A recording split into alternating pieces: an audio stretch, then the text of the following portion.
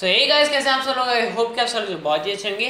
सो आज की इस वीडियो के अंदर देखने वाले अपन कुछ और नए टूल्स जो कि बहुत ही इंपॉर्टेंट है फोटोशॉप के अंदर फ़ोटो एडिटिंग के लिए प्लस फ़ोटो मैनिपुलेशन के लिए।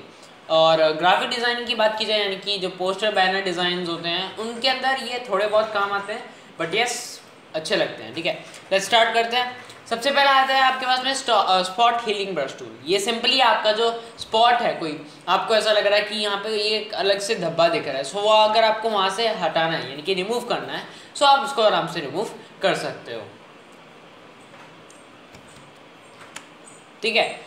सो so, अभी यहाँ पे ये वाला जो है इसको मेरे को सपोज़ रिमूव करना है। सो so, इसको रिमूव करने के लिए सिंपल है आपको यहाँ पे कंटेंट अवेयर पे जाना है। ठीक है? यहाँ पे आप इसका साइज़ जो भी रखना चाहें साइज़ स्पेसिंग हार्डनेस ये सब मैंने आपको पहले ही बता दिया है, ठीक है?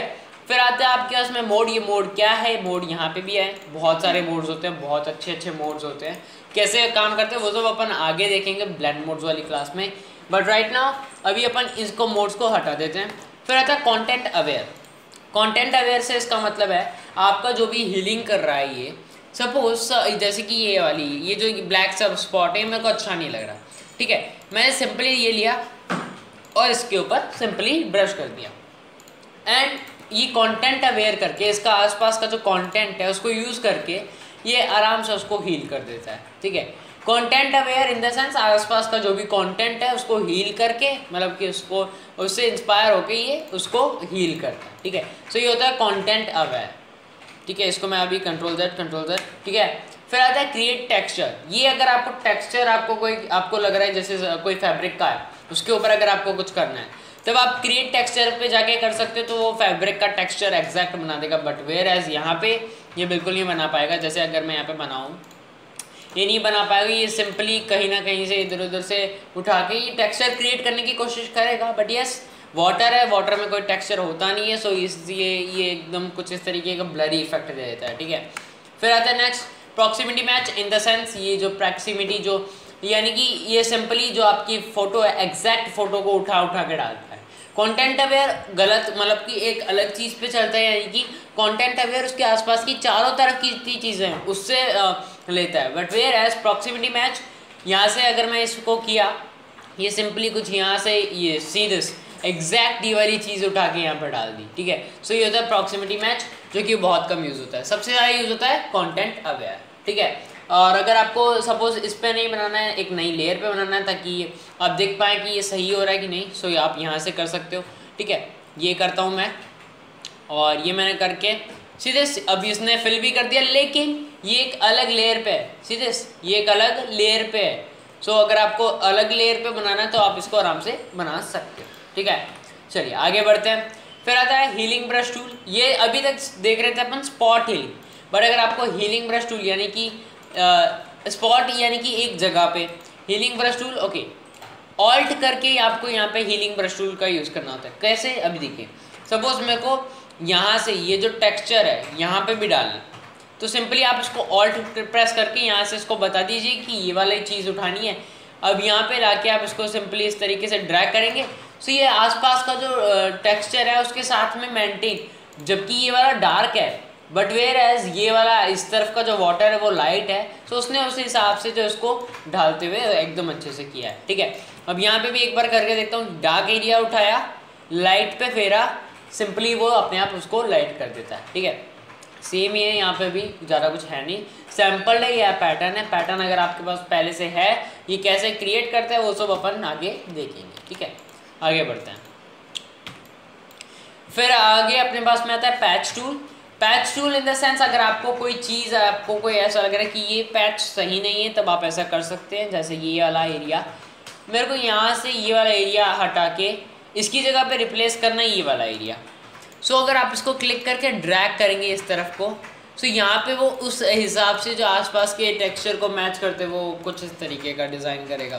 बट इसमें टेक्सचर नहीं दे पाता बिकॉज़ ये सिंपली कॉपी पेस्ट करता है ठीक है?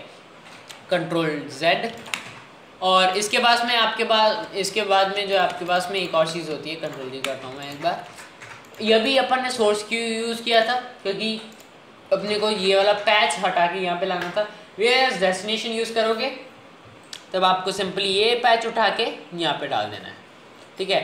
सीधे सेम काम किया है बट अपन ने इसको उल्टा किया था और ये पहले सोर्स का यूज़ करके किया, लेकिन अब डेस्टिनेशन का यूज़ करके। ठीक है? और यहाँ पे आपके पास में सेम मिलते हैं पैच वगैरह के लिए जो भी होते हैं ट्रांसपेरेंट रखना है वो आप देख सकते हो ठीक है? सो so, यहाँ से आप इसको सेलेक्ट कर सकते हो ठीक है? आगे बढ़ते हैं।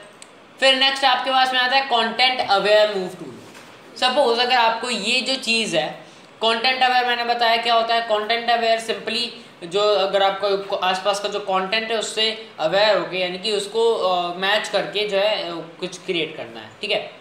यहाँ पे मूव टूल यानी कि आपको ये सिंपली ये जो पैच है, इसको यहाँ से इस तरफ़ लेके आना है, ठीक है? सो मैंने इसको क्लिक किया ड्रैग किया, यहाँ पे लाके सिंपली एंटर किया, ठीक है? अब कंट्रोल एनालाइजिंग अब वो एनालाइज करके कंटेंट अवेयर करके, आसपास की कुछ चीज़ों को इस्तेमाल करके, ये सिंपली वो वहाँ से जो है आराम से उसको करता है, ठीक है? वहाँ से इसने हटा दिया, अब क्या किया? उसने यहाँ से आसपास में से कंटेंट लेके वहाँ तो फिल कर दिया। लेकिन वो वाला जो पैच था वो यहाँ पे लाके छोड़ दिया। सो so, अगर आपको एक पैच को इधर से उधर लाना है तो आप यहाँ से यूज़ कर सकते हो। चलिए आगे बढ़ते हैं। फिर यहाँ पे आपके पास में आता है रेड आई टूल ना रेड आई टूल ये जो है रेड आई टूल यानी कि अगर आपने देखा होगा आप जब भी फ़ोटो क्लिक कर रहे होते हैं ठीक है?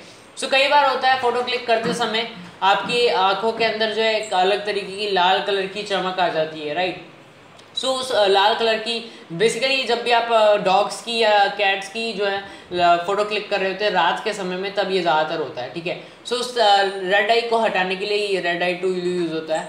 यहाँ पे जैसे सपोज़ अगर मैं यहाँ पे एक रेड कलर का बना के दिखा दूँ आपको, ये मैंने एक रेड कलर डाला, ठीक है? अब अगर मैं रेड आई टूल पर जाके इसको सेलेक्ट करूँगा, अब देखिएगा ये रेड कलर थोड़ा कम हो जाएगा फाइंडिंग रेड आई सीधे रेड कलर कम हुआ क्यों? क्योंकि अब वो रेड रेड आई टूल क्या करता है? सिंपली जो रेड है, उनको वहाँ से हटाता है। ठीक है? और ये अपना ए आई यूज़ करता है। ठीक है? इसीलिए इसने पूरा नहीं हटाया। बट जब आप आई पे कर रहे होते हो तो ए आई समझ जाता है ओके ये एक आई है। तो ये पूरा रेड को हटा देता है। ठीक है? सो रेड आई टूल का ये काम होता है। ठीक है? सो आज अपन अभी यहीं पे ही देखते हैं। फिर मिलते हैं नेक्स्ट वीडियो में। तब तक के लिए बाय बाय